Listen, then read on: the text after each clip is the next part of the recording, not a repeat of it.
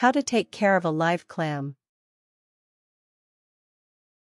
Clams are a wonderful, low-maintenance addition to any tank, as they naturally filter out some microorganisms and make beautiful, decorative structures on the bottom of your aquarium. However, just because they are low maintenance doesn't mean that they don't require any work at all. With a little knowledge, you can easily make clams a part of your next aquatic ecosystem. Method 1 Caring for freshwater clams 1. Place clams in well, established tanks for the best results. Clams are animals, not plants, though they are often marketed as filters. This is only partially true.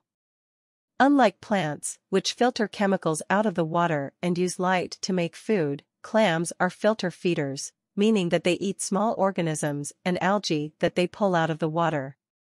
A brand new tank, however, will not have any other life developed, meaning your clams could starve without proper care. 2. Provide a sandy bottom for your clams. Clams like to hide and feel safe, sitting in the bottom of the tank and filtering out all the food waste and leftovers that drift down to the bottom. You want roughly 4 inches, 10.2 centimeters, of sand for them to nest in. Make sure you rinse your substrate, sand, off before adding it to the tank, especially if you've taken it from a natural environment. You want a nice, fine substrate, something with a grain size between 1 to 3 millimeters. 3. Add other fish to create a vibrant aquarium systems around your clams. Snails and coldwater fish all create food waste and scrapes that are perfect to feed your clams. With a strong ecosystem around them, most clams will need little other maintenance beyond the occasional check, up, as they eat the leftovers of the other fish. They can also keep your tank clean by filtering out some algae and microorganisms. Freshwater puffers, some catfish species, and loaches will all eat clams if they get hungry enough, so it is best to keep them in separate tanks. 4. Augment your clam's natural food with feedings 1, 2 a week. Your clams can eat a lot of the food left over by the rest of the tank, but, especially in newer tanks with fewer organisms, they will need some extra food to truly thrive. This is especially essential if you have a lot of clams, or many larger, adult clams. You can use clam food, found at your local pet store and often sold as sinking algae wafers, or you can make your own mixture, pureed in a blender and given to your clams individually. 1. 3 pound red meat, hamburger, beef liver, beef heart, or fish with roe. Beef blood, drippings from beef package, 1 teaspoon cod liver oil. A quarter teaspoon yeast. 2. 3 tablespoons water from the aquarium the clams live in. 5. Note the speed a clam closes up to measure health. A good, healthy clam will spring closed quickly if you touch it or it feels like it is being threatened. This is a naturally clammy defense mechanism. Every two, three weeks, pull your clams out and make sure that they close up quickly. Since they bury themselves in the sand, finding dead clams can be tough, but you can make it easier on yourself. Poke 10, 20 holes in a clean, single-serving applesauce container. Place 2, 3 clams, depending on size, into the container. Cover them in sand so that the tops are still visible at the top. Place the container at the bottom of your tank, removing it with your clams whenever you need to check on them.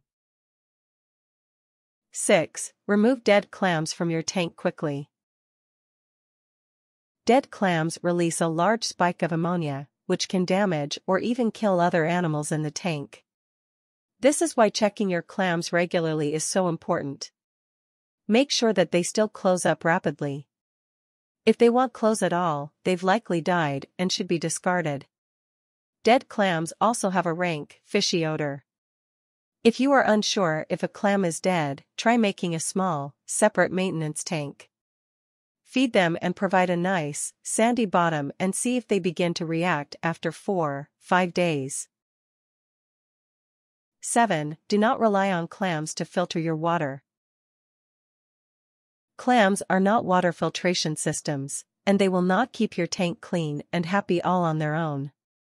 You still need a water filtration system, plants, and carefully monitored water levels to ensure that your tank is healthy and happy. Method 2 Caring for saltwater clams. 1. Do not place saltwater clams in new or immature aquariums.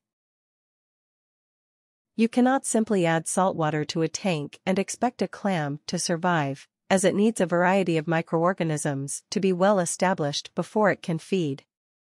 Clams are best in well established aquariums that have had several weeks or months to cycle. Saltwater clams go by the names T. tridacna, maxima, T. crocea, T. squamosa and T. derasa.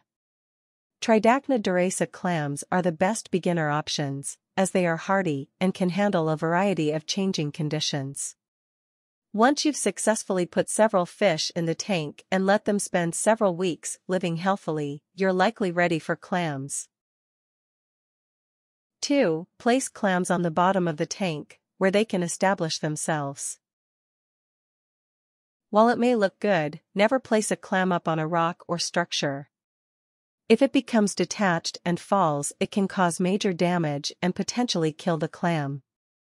Solid rocky bottoms are fine, as saltwater clams have a foot that they use to attach to the bottom of the tank.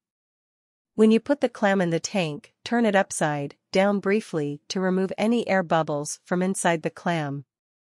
Make sure that the clams aren't wedged into anything that prevents them from opening up. 3. Ensure that your clams have adequate, bright lights.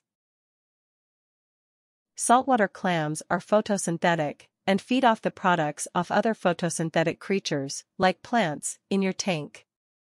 They have symbiotic algae in their mantles, top section, that create energy that the clams then harvest. As such, they love having bright, constant lights to feed under. Metal halides are your best option, though high-level LEDs or fluorescents may suffice. Make sure the clams face upwards and are not blocked from their light source. Maxima clams, in particular, need 250 400 watt metal halide lighting or equivalent intensity to survive. 4. Keep the water movement low and calm. Clams do not like rapid or fast, moving water, as it disrupts their ability to filter food out of the water effectively. Indirect, slow-moving currents are the best way to keep your clams healthy and happy. Keep your clams out of direct currents and away from pumps or fans. 5. Keep phosphate and nitrate levels low. Clams survive well in near, natural seawater conditions, which is where you likely keep a saltwater tank already. If you're not already, however, keep the phosphate and nitrate levels at an absolute minimum, potential near zero. 6. Check how quickly a clam closes up to monitor its health. A clam, when touched or exposed to a shadow, should close up quickly. If it does not, it likely needs more food and, or light, or your tank could be having chemical issues. If a clam does not close up at all, it may be dead, and should be quickly removed. Dead clams release a burst of ammonia, which can endanger the rest of the life in your tank. Tips Clams like slightly cool waters, but not too cool, as this will kill your fish and snails. Make sure you are taking care of your other fish in the tank as well. As long as the fish don't need picky or extreme environments, they clams should be able to adapt.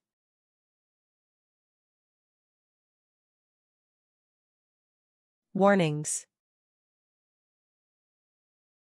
Do not try to crack the shells open. Remove any dead clams immediately.